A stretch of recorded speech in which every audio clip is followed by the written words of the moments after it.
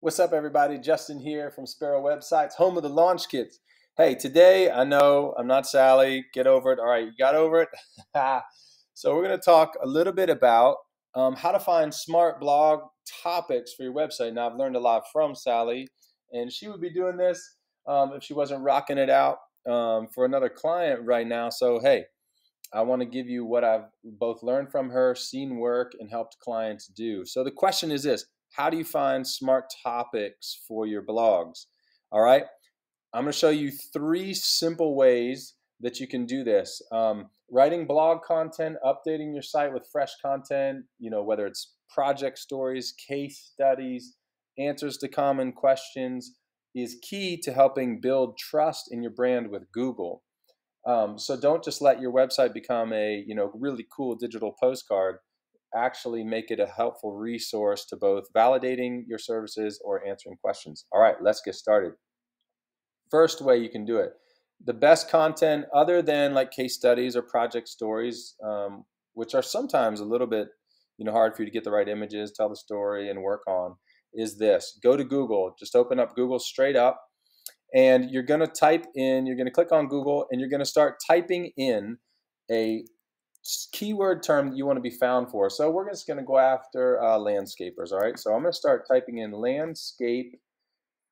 And I want to see Google's suggested search topics. All right. Google is suggesting these because they are the top search terms that are entered in your area. So it landscaping near me, landscaping Columbia, PA, landscaping Lancaster, da da da. Um, landscaping ideas. Any of these are actually potential blog topics you could write about. So if it's, you know, landscaping Lancaster, you could write a blog about, hey, we love landscaping in Lancaster, Pennsylvania. We've done these homes. Here's examples.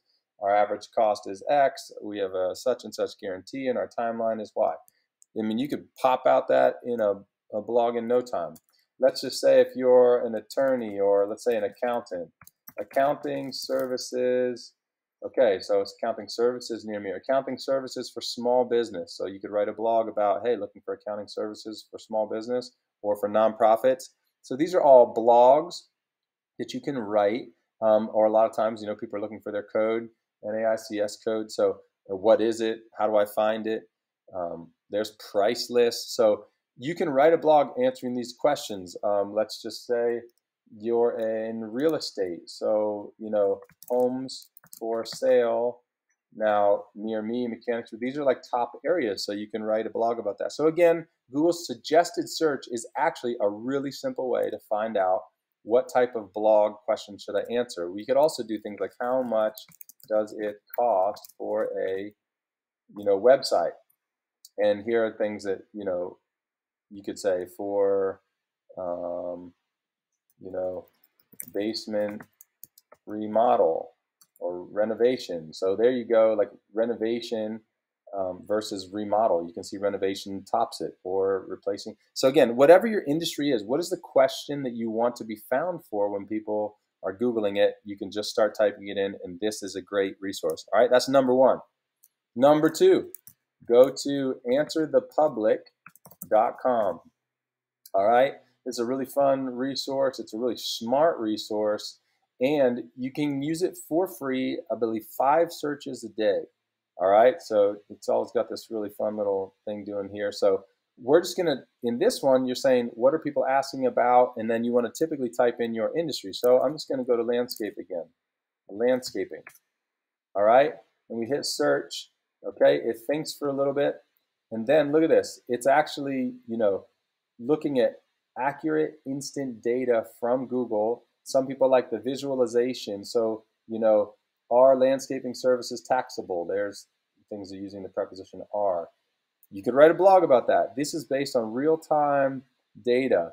Um, you could do it this way, you know, landscaping for privacy. These are all top searches. So, hey, looking for landscaping for privacy, here's some great ideas. I mean, it's such a brilliant tool. If you prefer to look at it a different way, you can put it in the data way. Um, and look, can landscaping be done during lockdown? I mean, goodness, write a blog about that right now. Hurry up, stop what you're doing, write out your answer. Um, how long should the answer be? I'll tell you that in a moment. Um, so, answer the public, great tool. Type in your um, question. You have all these different, um, you know, if you like to be more of a comparative you know, uh, landscaping gardening services. What's the difference? So again, go to town, answerthepublic.com, have a blast. Here's the third way to do it. Guess who? Your secretary, your admin, or your personal experience talking to people on the phone. What is the question that they keep asking? Answer it in a blog post. All right. So let's talk about how long should that blog post be. All right. So I'll just bring up our website here. We post, um, you know, blogs that are commonly asked questions or tips or things that we'll focus on. Um, so we can use this as an example. There's a lot of types of blogs um, that you can write. Some of them are kind of how-tos. Some of them are very step-by-step. So here's how long. At least 300 words, okay? So 300 words ends up being a couple paragraphs. It's actually pretty easy to get to. You're just kind of answering the question um, and giving a short answer. At most, if you want a killer resource that actually has how to, you're going to end up probably 800 to 1500 words. That space between 300 and 800 words is actually really not that helpful because you don't quite get into enough detail to actually solve the problem. And, or, you know, so it's like too long for the skimmer and not enough help for the person who actually wants to do it. So what you want, again, we're just going to make sure you know that, you know, how long should a blog be? At least 300 or go for that 800 to 1500. Um, you know, three, 400 words is fine, but that, again, that like blanket space between 500 and 800, you know, three, 400, 800 words. You got to be careful if you land in there. Google will index it. Google will still, you know, find it, but that's how long. So a few paragraphs or, you know, a page or two, uh, or not a page or two, but, you know, it turns out to be maybe eight to 10 paragraphs. Um, here's another example of a great um, brand that we work with, and their blogs are very like informative. Um, yeah, very kind of explanatory, just to give you ideas. Um, so, give you another example here.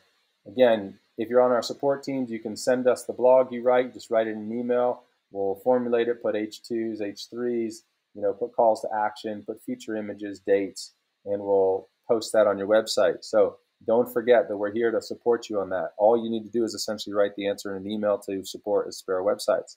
All right.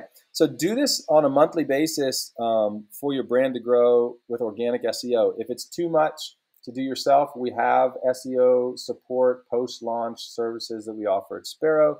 But honestly, we want to train you and empower you to do it. Um, we want you to grow your brand with your organic content, answering the questions you know you're getting from customers. So again, you can go to Google and do it. You can go to Answer the Public and just type in a, a topic there and find out what people are actually asking, or just go off uh, what your secretary or the phone calls ringing are are uh, asking. Now, how often should you do it? The answer: as consistently as you can. If it's once a month, do it once a month. Have a cup of coffee with your website, write that blog once a month. Send us the email, we'll post it on your site.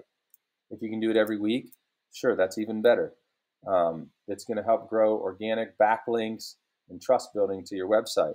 So, whatever your industry is, whatever your service is, um, think of how you want to serve them on your website with blogs.